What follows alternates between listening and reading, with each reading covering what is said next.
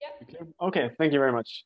So yes, so I will present a, a paper together with Cevat Panu, as Joanna already um, introduced, and this is really a COVID pandemic project. So we started it in in March uh, 2020, and we hope it's in good shape, and would like to present our uh, results we have so far. So to motivate the paper a bit, I mean, in the last um, last 15 years, basically half of the the world uh, got connected through the internet through a mobile phone, which is a very rash movement. And I think the the nature of this this technology is very interesting because it basically now enables uh, border crossing communication, and um, this can have different you know forms. Like first of all, it can have forms of direct contact with family, friends, but also in terms of maybe more relevant for migration to diasporas and it allows uh, finding and searching information on social media uh, and through search engines. So I think there is two main pathways in which we expect this to, to have an effect on, on migration. And first of all is that the cost of migration decreases. So how this looks like, it becomes easier for um, potential migrants uh, to basically acquire a visa or to find job opportunities um, so basically, we think the cost of migration decreases. Second part of it that not only the cost of migration decreases, but also the cost of acquiring information to find a suitable destination.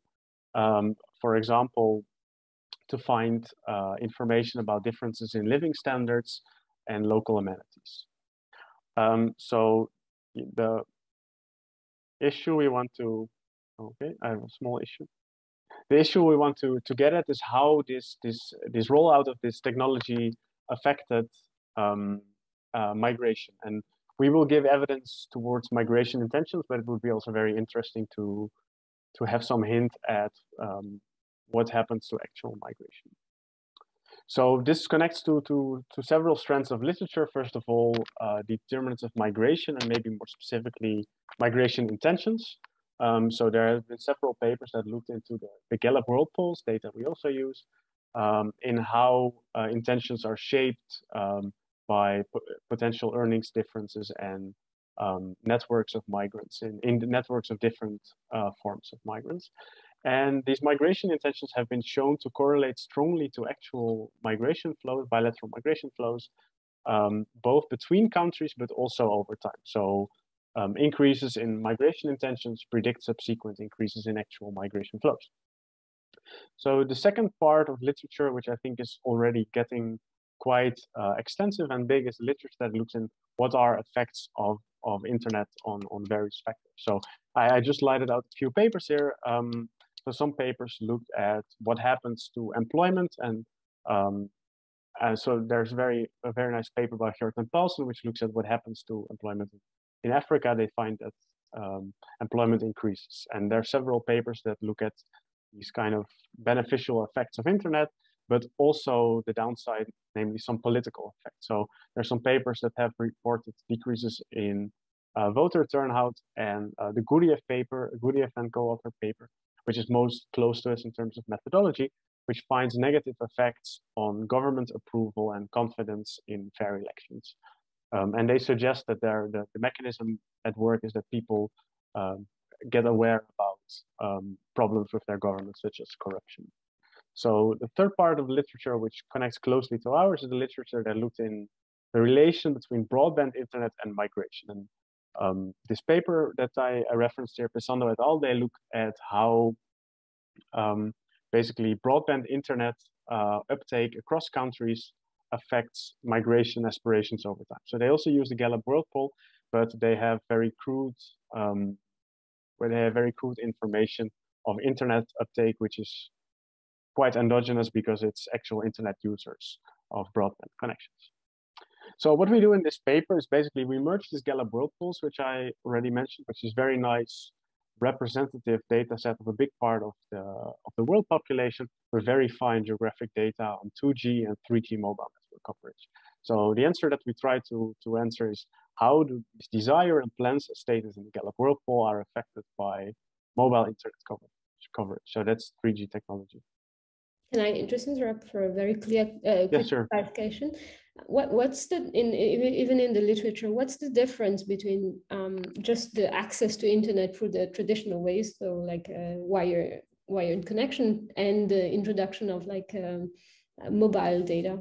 Yes, thank like, you. Why would you expect it to have a different? Um... Yes, so I, I I think this is an interesting point, and I will hopefully come to that. But um, so one major importance is of course social media. So most social media are accessed through um, through mobile phones nowadays. Of course, it's a bit of the reverse reasoning, but um, we believe that the rollout of mobile internet really does change um, the the way people use the internet. But it might also increase the ease of use, and that's might might also increase the time spent uh, on the internet, which also has some effects. I think we don't say too much about that in the paper, but I think this is an interesting distinction to make that mobile internet might be substantially different from, from broadband um, so we do several other things, and we, we basically look at the heterogeneity of our facts using a data-driven method called causal forest. I will explain a bit more about it later. Um, we look into several mechanisms and we present a case study where we actually uh, look at what happens to actual migration. So the preview of results, we find that an increase of 10 percentage points in 3G coverage uh, leads to an increase in the desire to emigrate by around 0.3 percentage points. And to argue that this is this is a substantial effect, around one fifth of all uh, respondents in Gallup say that they desire to migrate. Um, so if you go from zero to full 3G coverage, this adds another three percentage points. So the effect is not very large, but it does add some uh, to the, the stock of people desiring to migrate. So what we find in the other analysis is that, that we find that the results that we find are driven mostly by individuals in high income countries and individuals in above median, uh, with above median income in lower countries. Um, and we, we suggest, find suggestive evidence that um, there is a decrease in information costs, um, which has several interesting implications, such as that it also might change uh, preferred destinations. And we also find in the case of Spain that uh, 3G internet access increased um, migration rates for, for, Spanish nationals from Spain by around 10%. So um, today I will present a bit a small theoretical framework in which we, we basically you know, incorporate our main mechanisms and show what uh, effects we predict. Then I will talk a bit about the, the data uh, merging that we used. Then I will present these main results um, and we will explore the heterogeneity um, and we'll give some evidence about some mechanisms and present a case study. So first of all, the theoretical framework, it's a very basic setup in which there's two countries, a country zero, the home country, country one, country abroad, and each individual has an exogenous probability, theta, which is the same for all individuals to be mobile. And uh, an individual has potential earnings in a country K, so that's the home or the abroad country, uh, which is some coefficient factor multiplied by uh, a vector xj of individual characteristics, such as gender, age, but also uh, the 3G coverage level um, in the given district. So I, maybe I should clarify it when I say 3G, I use that, uh, you know, um, uh, like um, like synonymous to to to mobile internet. Um, I will show later also that of course we have data on 2G networks that changes something. Um, so basically, uh, beta times xj denotes potential earnings in country k, and we denote cost of migration in two terms: a deterministic component, which is a coefficient factor multiplied with this uh, characteristic factor, and some idiosyncratic term, which is determined, uh, which is um, distributed by some PDF phi and a cumulative distribution function capital phi. And individuals have one choice to make, and the choice is to make, do I acquire information or not? And they can acquire information at a cost uh, of alpha times xj. Um, and basically based on this, we can, with this information, we can determine the condition whether it's optimal for um, an agent to invest in uh, information acquisition or not. And because we, we the only stochastic component which is distributed over um, over all individuals is this epsilon j. So basically we can derive a probability um, um, the probability that someone acquires information, which does not mean that someone migrates, but he finds out whether this theta collapses to a zero or one, and the ones that uh, find that they are being mobile, they can actually migrate. So if we take a partial derivative of this expression to the to the the the component of this um, characteristic factor x, which contains the 3G coverage levels, we find the following expression. Um, and this expression has uh, two multiplicative terms. The second term is just uh, the probability density function, so that's always positive. So what's interesting is to look at the first term. The first term, the first component is the, the effect of 3G coverage in the home country on earnings abroad. Well, that is zero because that probably doesn't have effect. The second term is the effect of 3G coverage in the home country on earnings in the home country, which may have an effect, as some papers have shown. Um, and then there is one term related to the cost of information. So we expect this to be negative because um, more higher access to the internet, um, higher likelihood of access to the internet implies that uh, migration costs are lower. And second term, um, in this other term, alpha, this is the effect of 3G internet on uh, the cost of acquiring information, which is in our model a necessary step uh, towards migration. So basically, as long as this um, as this term is not uh, largely positive, the overall effect that we find here um, is negative. So in other words, our our, our framework uh, predicts that um, an increase in 3G coverage in mobile internet access um, increases also the share of population that um, is acquiring information, and we we see this as synonymous to having a desire to emigrate. So those people are interested in migration and are acquiring information about uh, what could be a good destination for them. And because in, in our model, basically a share theta of uh, of respondents actually find out that they can migrate, we also find we also would predict a positive effect on actual migration and plans to migrate. However, because some people find out that they cannot migrate, uh, this rate is of course lower. So that is our hypothesis too. So the data that we use, the main data set is the Gallup World Poll, which uh, surveys around 1,000 people per country per year. And in this data, there is a subnational identifier which ranges somewhere between five regions per countries to 100 regions per countries. So basically, we, we, we can uh, pinpoint individuals in this data set fairly well. So the questions that are relevant to us are the following four questions. So there's, first of all, a question related to the desire to migrate, which very broadly asks and probes whether someone would like to migrate in case someone would have the opportunity without mentioning any time period. The second question is already much more concrete because it asks whether someone is actually planning to migrate uh, in the next 12 months. The third question is even more specific and it asks whether this person has already done any preparation for the move. Um, and um, please note behind brackets, you see that um, the time span that the time span of coverage of these questions is not the same for all questions. So that's a limitation of Gallup because they they threw out some of these interesting plans and preparation to migrate questions in recent years. And the fourth question uh, is a question that is somewhat different than traditional migration aspiration intention question. is a question that asks whether someone deems himself to be likely to actually uh, migrate in the upcoming 12 months. So here you see there is no um, geographical restriction. So this might be people that migrate that that uh, deem it likely to migrate uh, domestically, but also to migrate abroad. So here I show a map um, of of the world. So basically, see almost all countries are colored in because Gallup surveys uh, people in around 150 countries. So this is the desire to emigrate, the average uh, rate of people answering positively to the desire to emigrate question across the world. And you see that there's quite some distinct geographic patterns. So basically rates of um, willingness to emigrate are very high in sub-Saharan Africa, some South American countries, and are much lower in um, in some Asian countries, for example. So then we go uh, further to uh, the levels in the later time periods in the data set, and we see some some changes over time.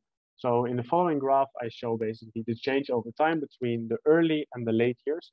And I think we can note a few interesting patterns. So large increases in migration uh, desires in uh, Middle East and North African countries. So Venezuela, not a surprise. Um, Southern Europe as well, and decrease in other regions like Northern Europe and some parts of Africa and Asia. So um, these, um, I, I, just want to show how these migration intentions actually relate to, to actual migration. So the, the, the question on the planning to migrate, 2.7% uh, of individuals answer positively to that, which is around a factor of eight higher than actual emigration rates on average. Uh, so basically, one in eight, um, one in eight uh, people stating that they desire to migrate will actually uh, that are planning to migrate actually migrate. So the realization rate of, on these questions is still fairly low. However, um, correlations um, between these desires and plans to migrate and actual migration are fairly high. So in the following graph, you see exactly that. So basically on the x-axis, in the left panel, you see uh, the log of the, the desired flow rate. So something I didn't tell. So Gallup, if someone says I'm desiring to migrate, Gallup also asks which country are you desiring to migrate. So basically, using this information, you can construct bilateral um, migration flow rates. So predicted migration flow rates based on uh, whether someone says he desires to migrate to a certain country. Um, and basically, if we, we, we correlate that to um, bilateral flow rates from, uh, so basically there's this yearly bilateral flow data to OECD countries, we find strong uh, correlation both for the desire to migrate and for the plans to migrate. So for the desire to migrate, um, the, this correlation is stronger. And I think the main reason is that because of the longer coverage of this variable. So it's covered over 10 years, while the right panel is only covered over uh, seven years. And the, the, the number of observations in the right panel get fairly low because only 3% of people actually plan to migrate. So then we merge Sorry. Just interrupting you quickly. Do you have the same thing uh, separated by the early and the late period, whether the realization rate is similar uh, at the uh, different uh, points? so this graph does not directly show the realization rate, right? So basically, uh, I mean, it's percentage change, so it's a bit harder to, to interpret, yeah. right? Because sure. Um, no, I don't have this. Um, I think this could be, be interesting to look at. The issue is that this is uh, aggregated over the whole time period because if you don't aggregate over the whole time period, you have 100 respondents in a given uh, country year, then 3% of them uh, plans to migrate.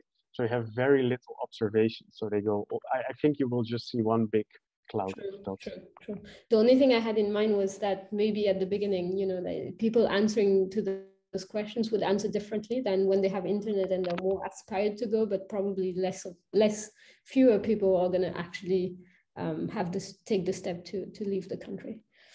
But yeah, I, I, I think I, yeah. So I, I will get to this uh, country, this origin destination level on that a bit later. Um, okay. So then we use this the, the, the data on mobile coverage from Collins Bartholomew Mobile Coverage Explorer, which basically collects um, very fine spatial data on uh, mobile network coverage. So that's 2G, 3G, and 4G networks uh, over time. Um, so basically, this is a bit dependent on whether network operators basically supplied this information, which is not always the case, and it's also not the case for all countries. So that's why we have um, we have around 130 countries um, in scope there. So basically, we aggregate this up uh, using population maps, so we get population averaged um, 3G coverage level on this subnational district level that is supplied in uh, the Gallup World Poll. So as Jana already mentioned, I mean, mobile internet internet's the first experience uh, with the internet for some people.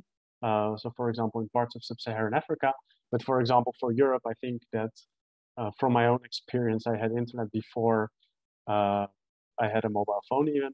Uh, so I think this is very distinct, and this is also a reason why we affect uh, we we expect our effects to be heterogeneous. So the resulting data set concerns around 600,000 people in 110 countries. And we have then this 3G data for a bit more than 2,000 subnational districts. So we have considerable variation within uh, countries as well. So here I show just the broad picture of this 3G coverage for all countries in the in the data set of uh, the Collins. And basically the blue uh, coverage indicates the coverage in 2008, which was mostly centered in Central Europe, few cities in America, um, and uh, Japan, where 3G was rolled out commercially for the first time. So basically, um, the green dots denote the coverage um, uh, in 2018, and you see that coverage uh, expanded greatly across the world. You don't see it very well because in a lot of uh, countries that ha don't have full coverage have coverage in um, in bigger cities. So, for example, the example of Ukraine you see here, it looks like there's not much coverage, but in the end, because all bigger cities are covered, around 35% of people receive coverage. So to show what variation we have, I basically show the level of uh, expansion between 2008 and 2018 uh, for all subnational districts. So all the little bins you see here are subnational districts as we have it. And we see that we have considerable variation. Uh, however, variation is mostly dominant in, in richer parts of the world. And for example, if we look at sub-Saharan Africa, we have a few countries where we have uh, coverage, but most of this coverage took place in the later, uh, started only in the later uh, time periods in our, uh, in our panel. Um, so the empirical strategy we use is the following. So basically we have a continuous outcome um, and we use um, a staggered difference in differences with a continuous uh, treatment variable. So basically we run an outcome variable, which is uh, a question related to migration aspiration or intentions on this district level 3G coverage. So this is all, this is yearly data.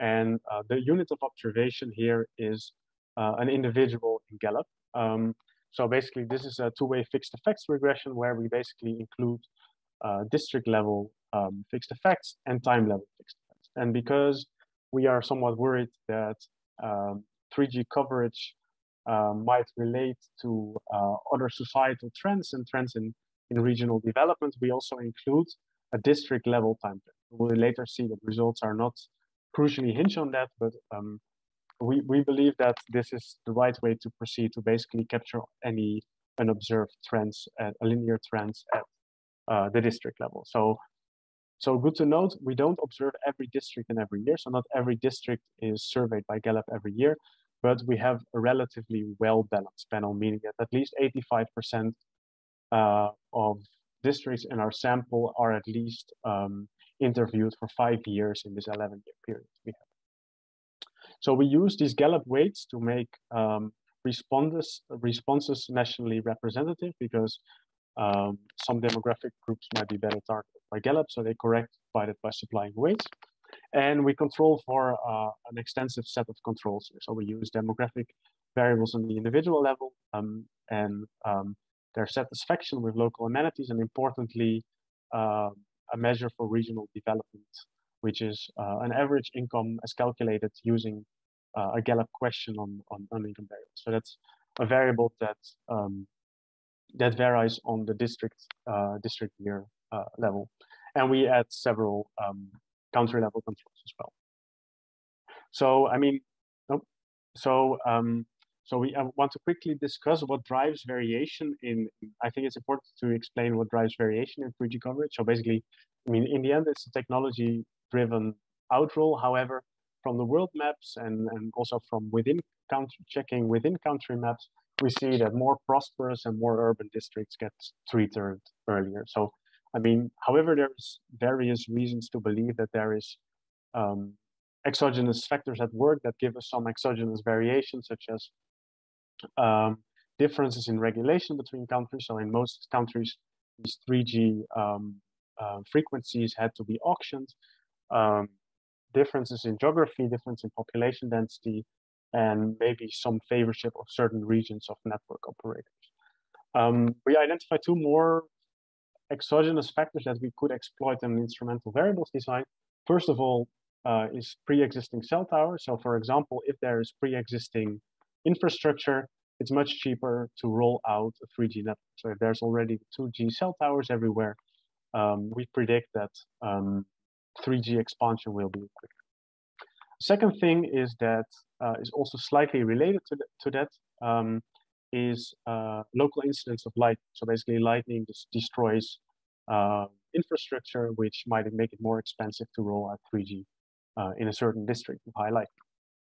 So we try to address uh, this non-random uh, non-random variation in, in, in 3G coverage by by carefully assessing. So we don't we want to make sure that uh, in terms of migration intentions and aspiration intentions, the districts that do receive cover coverage earlier do not show different trends than districts that, that get coverage later or not at all. so first of all, we we do that by looking at pre-trends um, before getting for districts before getting treated. And uh, as mentioned already, we control carefully for district level time trends and different ways of, of, of probing regional development. And we, we try to, to dispel concerns about that endogeneity by using two, two distinct IVs, one based on pre-existing infrastructure and another based on the local incidence of lightning.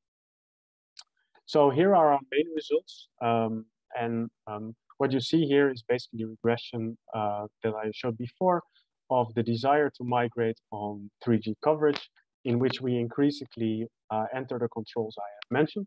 And you see that across uh, columns, the effect is fairly stable. And uh, we find that, um, that an increase um, uh, an increase uh, of one unit of 3G coverage, you're going from no to full coverage, uh, leads to a three percentage point increase uh, in the desire to migrate. So this is the, what I already gave away. It's a relatively small effect, but but still quite sizable. So I think if you look in these regressions, if you have the gender gap between men and women, this is approximately uh, five percentage points. So men are five percentage points more likely to to desire to migrate.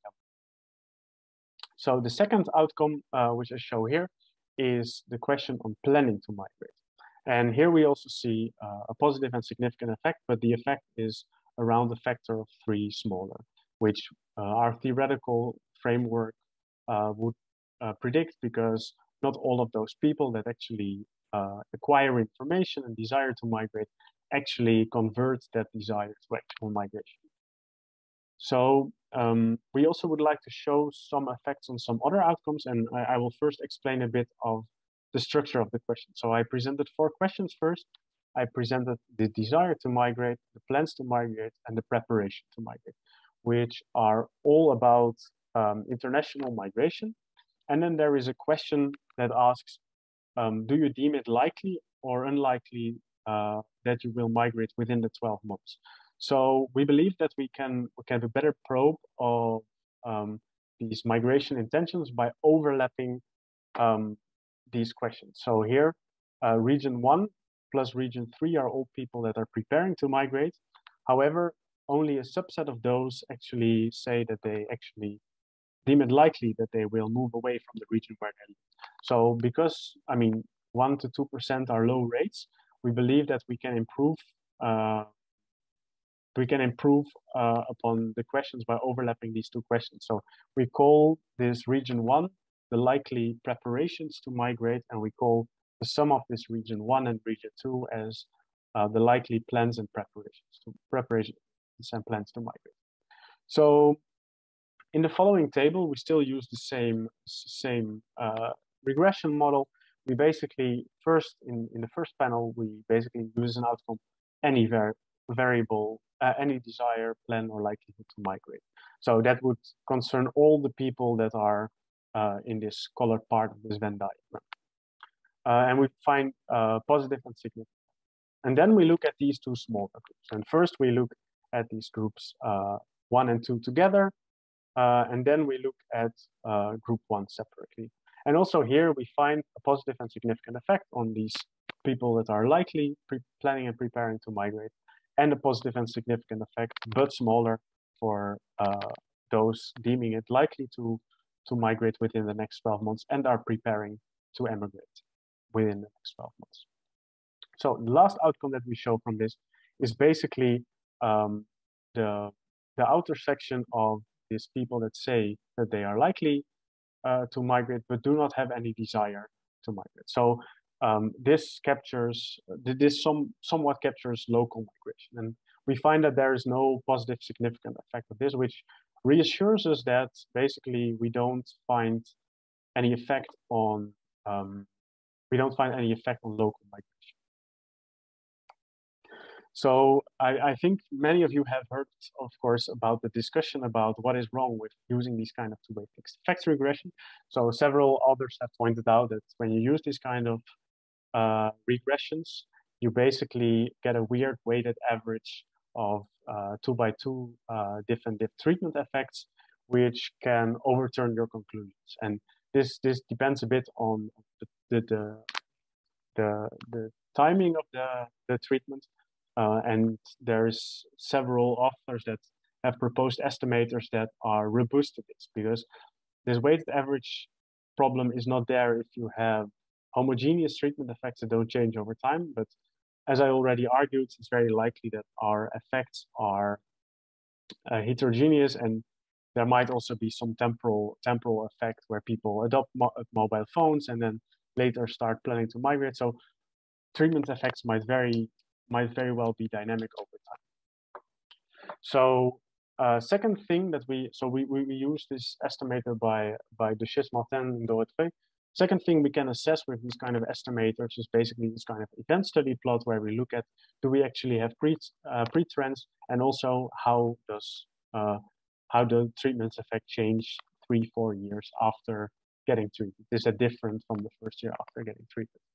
So one drawback of these kind of methods is that because we have a continuous treatment, we need to discretize uh, the treatment and the threshold. So I'm willing to talk about this, the, the more details about this estimator uh, later, but I will just first present the results and if time is left, we can, we can discuss about it.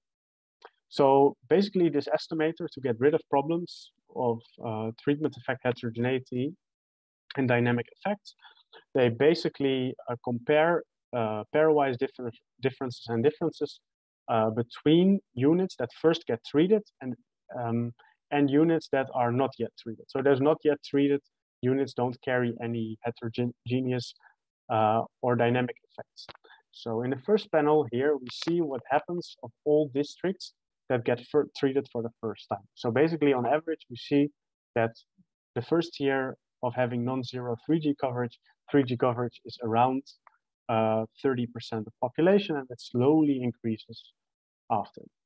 So using this estimator, we also look at the desire to migrate. And here we see that we don't find effects for significant uh, pre-trends. So that is good news. So those units are not uh, substantially different from units uh, that uh, don't receive treatment yet or will not yet not receive 3G uh, coverage.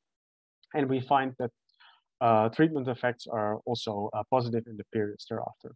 So one issue of interpretation here is because the treatment effects for three or four periods after getting treatment, treatment have to originate from units that get first treated only uh, before 2014, which means that um, there's a difference in composition between these treatment effects. So basically, those later those later estimates do not include units that um, received treatment in later years. So we can say something using these estimators, but it's very hard to basically say something about okay, what is the the how do dynamic effects work out because you have this compositional difference. But nevertheless, with this estimator, we also find positive and significant treatment. Um, and in the later panel, we show the same, but then for plans to migrate. Um, and we see something very interesting. Uh, we see that, that the treatment effects are, are close to zero in the first two periods uh, after getting treatment, but increase thereafter. So I think that could be interesting and that could be intuitive in a way that people first um, uh, acquire information, then get an idea whether they want to migrate, uh, and then maybe plan to migrate thereafter. So then I will go into to the two instrumental variable strategies that we use. So I will point out one mostly because it's one that is slightly more credible and that is based on the lightning. So lightning is very plausible to be exogenous to, to to the formation of migration aspirations and intentions.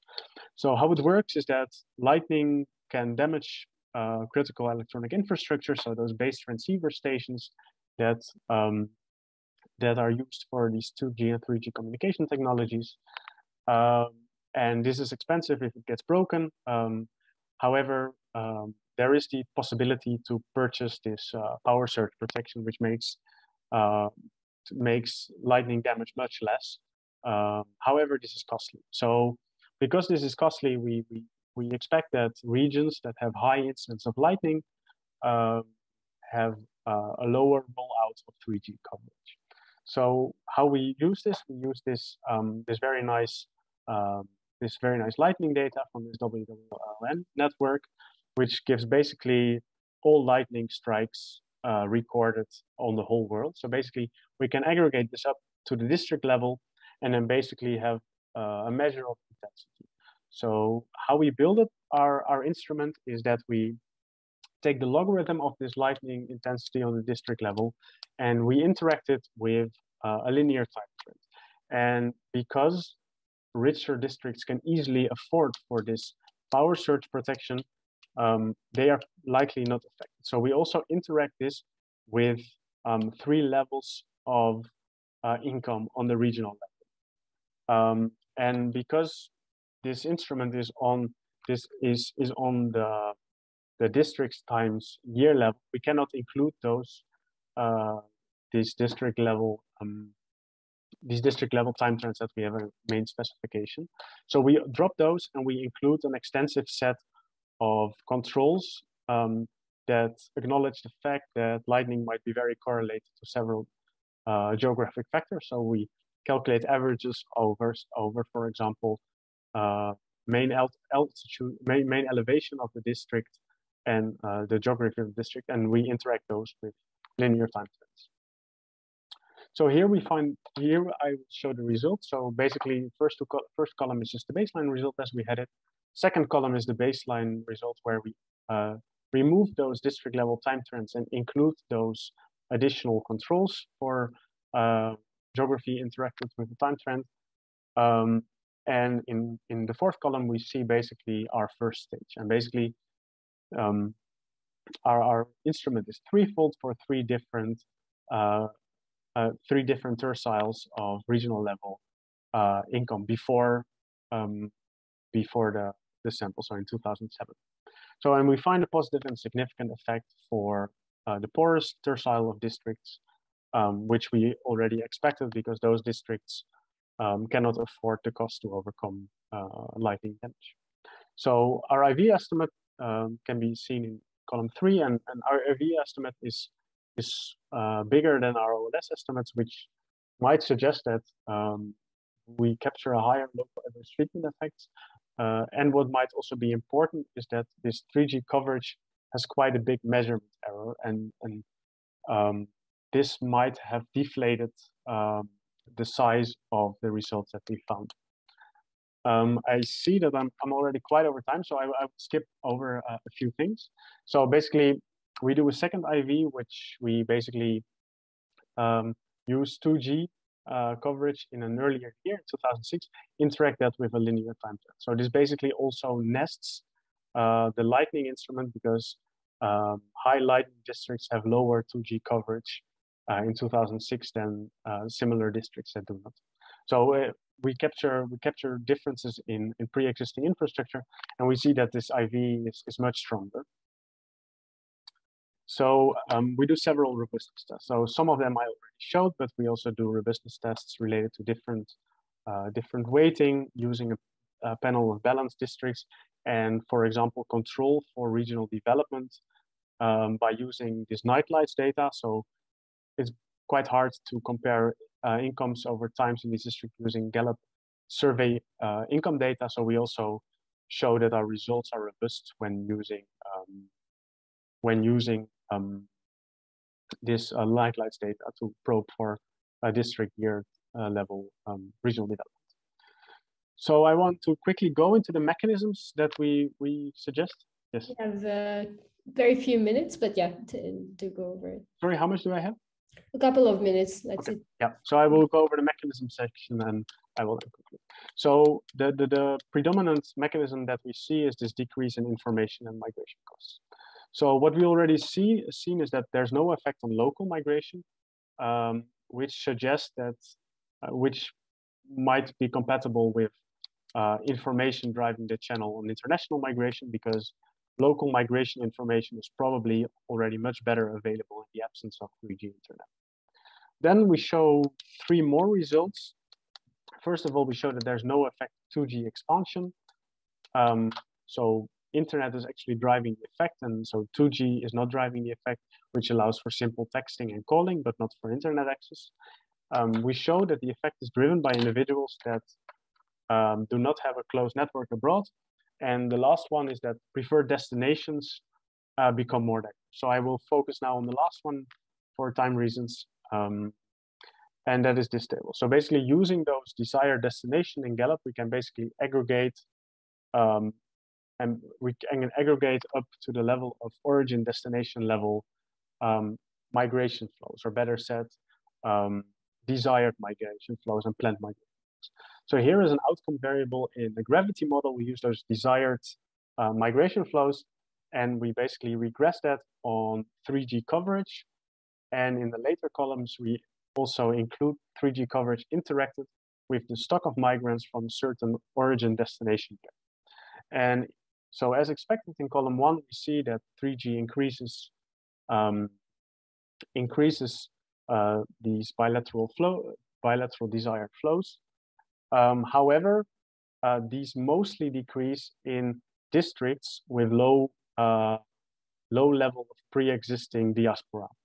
Uh, so basically, I think this is very interesting because this shows that um, these desired destination that people indicate in the Gallup World Poll change from um, change from countries that they are well connected to to lesser connected countries. And I think this has interesting implications uh, because as migration patterns might change, this might have interesting effects. I mean, there's a, a big literature which looks at what are the effects of diversity of migrants on top of uh, the level of stock of migrants. Um, I will quickly skip over to one more thing that we that we did, and that is um, showing the heterogeneity in the in the effect size. So basically, we use a novel approach, causal forest approach, which basically is a nice non-parametric way to to find treatment effect heterogeneity. Okay. Um, and basically, uh, this allows to calculate uh, an object called conditional average treatment effect, which is basically um, uh, a, a, functional relationship of how your covariates uh, shape your treatment effect. So we find that in this algorithm, uh, personal income levels and income levels at the country level, so GDP per capita, uh, strongly predict treatment effect heterogeneity. Um, and that can be seen best in, in this figure. So on the x-axis, you see the level of GDP per capita, and uh, on the y-axis, you see the household per capita income. So that's a personal level variable. And we see that in the color scale, we see these conditional average treatment effects. And we see that conditional average treatment effects are the biggest in high income countries, but also in uh, higher income individuals in low, low income countries. So there's, there's considerable amount of treatment effect heterogeneity. And I think this is interesting. So I will now wrap up. So we did one more case study. We did one case study where we look at actual migration in Spain which we could uh, nicely match on the municipal level to, to the 3G coverage data, where we actually find that um, expansion of 3G networks actually increased um, emigration rates of Spanish nationals abroad. Um, I just wanted to mention it. If you have more questions about it, you can uh, ask later. So to conclude, we find um, a positive effect of the 3G rollout that has been going on over the previous uh, 10 years across the world uh, on aspirations and intentions to migrate. Um, and we also show that this is affecting this very specific case study on actual migration. Um, and what we suggest is that uh, a channel um, uh, of decreasing information and migration costs is the dominant channel. And I think in, in the future, we would like to see whether we can disentangle it because if you go beyond the simple framework, theoretical framework that we show, you could also argue that, for example, a continuous flow of information might increase uh, the option cost of waiting uh, to migrate, which actually might have a negative effect on on actual migration. So it would be interesting to see to, to see this expanded, and would be nice if we can find more evidence of how mobile internet coverage and internet coverage in general um, affects actual migration. So uh, thank you very much for your attention, and well, I'm looking forward to uh, to the comments. Joop, thank you. Thank you very much for, for this nice presentation. So um, let me just uh, start with, with Narcis. Um, Narcis, I will allow you to, to, to speak, to ask the question. So this was a question about the, about the theory. So, I mean, you, you went a bit fast on this and uh, Panu also answered uh, the question in the Q&A, but um, we'll start with that. Narcis, can you, can you speak? Yeah. Uh, yes, can you hear me? Yeah, perfect. Yes. Okay. Oh, uh, thanks for your nice presentation. I really enjoy it. I simply have a, a question uh, on your theoretical framework. Yeah, of course, I have already exchanged some words with your co-author, but I was still wondering, because you are basically assuming that the probability to move is exogenous, but what you are testing is what does internet, how does internet coverage affect the intention of people to move? And what you do is uh, one or two steps uh, later is that you have shown that there is a strong positive correlation between yeah between the, the, the intention to move and the mm -hmm. actual uh, and what we observe in in data as being the realization of uh, bilateral moving of people. So if the intention to move react uh, to internet coverage, and that the intention to, to move itself, uh, the, sorry, the realization of migration also react to the intention, we should expect that uh, internet coverage should affect the, the real probability of people to move. So uh, my guess is that keeping it um, exogenous prevents you from having some nice channel that you can explore.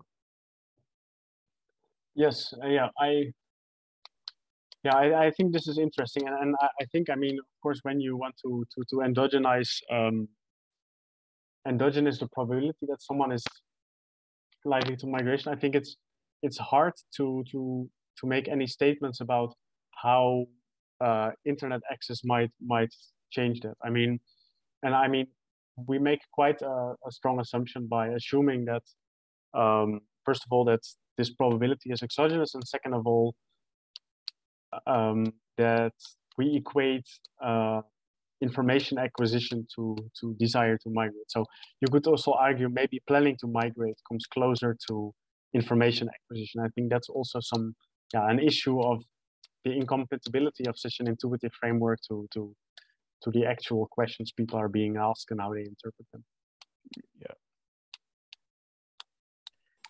Okay, then um, Simon, I think you have you have a question. Uh, I think you can you can unmute yourself directly, right? If I'm not wrong. Yes. No.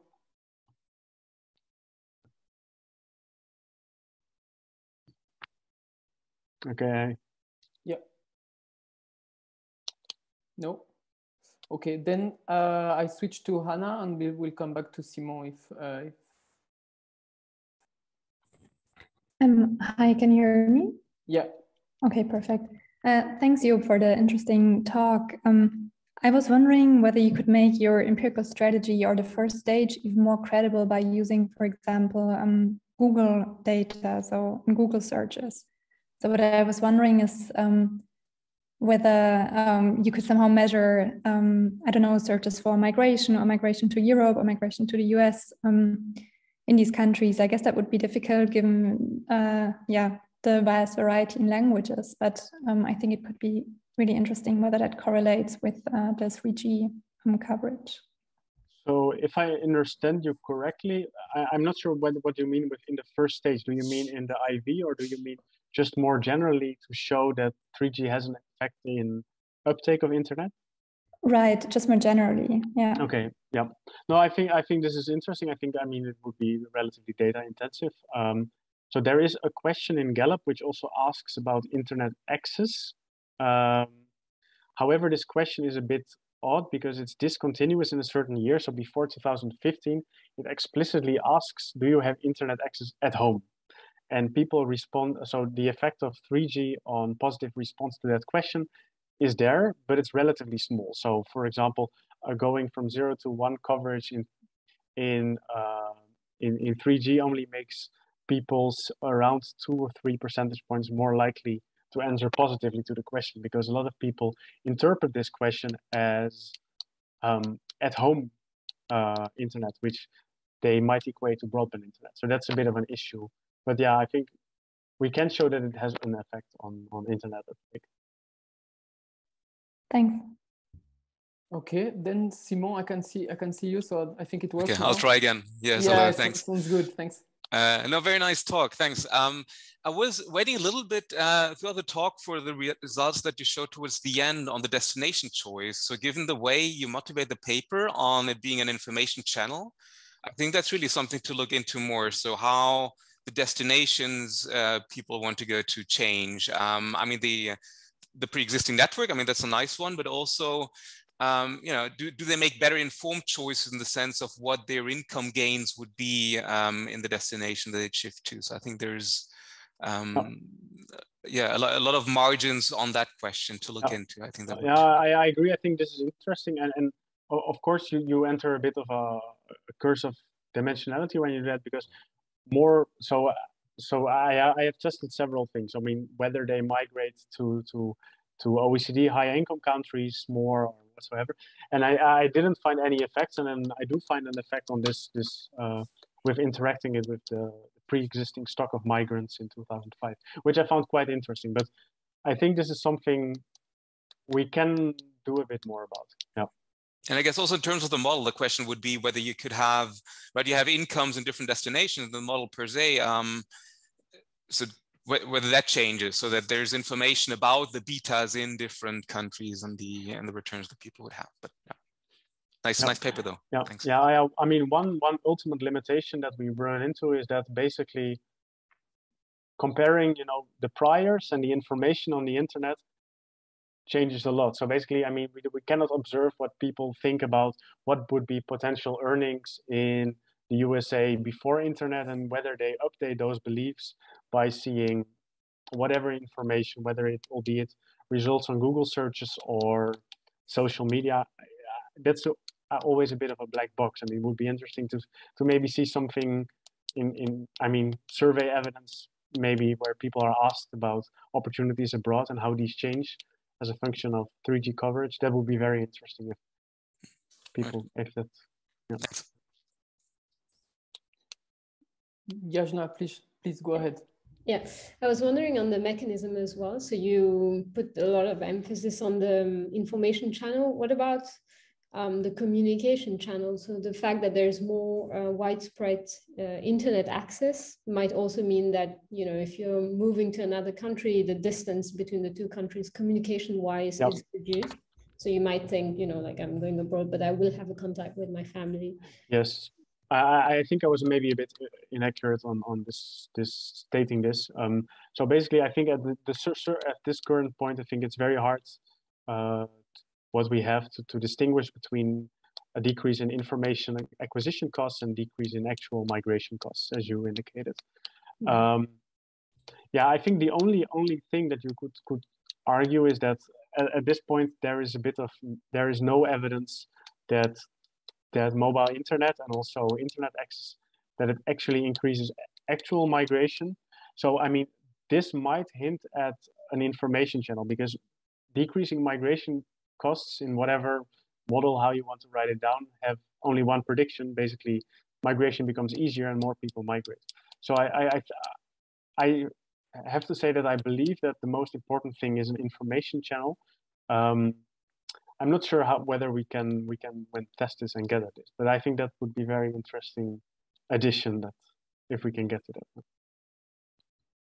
yeah maybe playing on the you know the destination country of preference if you move further away you know like you're you're more likely to go you're more willing to move further than closer countries because Yes, I, I think that this is also interesting. I think there's people in trade literature that looked at broadband internet expansion on, on, on firm level, and they basically actually find that uh, people move to uh, uh trade flows between closer destination become bigger because people are more aware of all opportunities and then they just choose the opportunity which has the lowest trade costs. So I, I think this, this, yeah, in this kind of sense, there must be interesting things we can do with this. Of course, trade data is a million times better than migration data, but yeah. Yeah, thanks. Thank you so much, uh, Luca, if you don't mind. So I will close today's um, seminar and then we can keep on discussing. So for those who would like to discuss a little bit more uh, about the paper, please stay uh, here.